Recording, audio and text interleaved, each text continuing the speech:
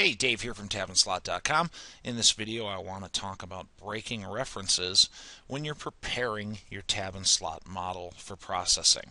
Now, we go through a pretty specific process here at tab and slot, and we do it for a very good reason. You can see on the screen, I've just got a little tab and slot model made out of quarter inch material.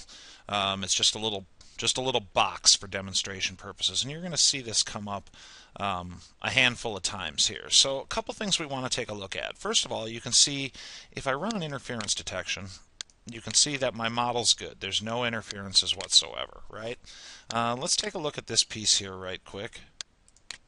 And you can see one of the things we do is we put a fillet on most of our external corners, you know, certainly the tabs. We're going to put a little nose fillet on there, and that just makes it easier to assemble, and it gives us a little bit cleaner cut, okay? So you'll notice that I don't have fillets yet on a couple of these tabs, okay? So let's take a look at this part, and let's put some fillets on here. Now, I can tell you right now, this is going to screw some things up, okay? And I'm going to show you why in just a second. So let's just come in here, and let's put our 16th fillet, and let's just, uh, I'm just going to do a few of them to illustrate the point. Here, let me get that guy. That'll be enough, okay? And let's just save the part. Come back over to our assembly. And let's run that interference detection again. Okay, now you can see we've got all kinds of interferences. Well, how come?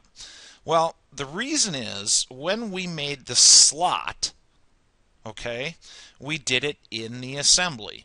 And we projected, if I come over to this tab, whoop, there it is, right? There, actually, I got to go to one of these top ones. If I come over to one of these guys, you can see that square was offset our 5 thousandths projected through this part, and that made our cut. So now that we've, sorry about this, my mouse is acting up.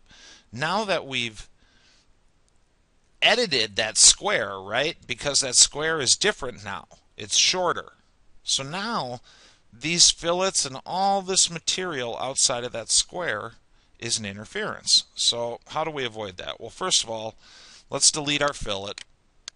Let's get rid of that so we can go back to our assembly here. Let's run our interference detection again.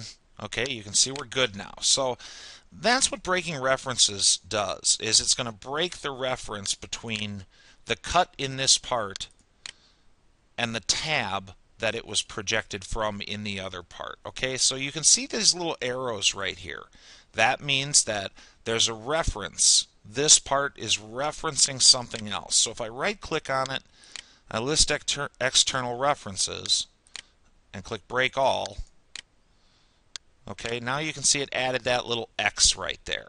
So now I can go in, I can put the fillet back in.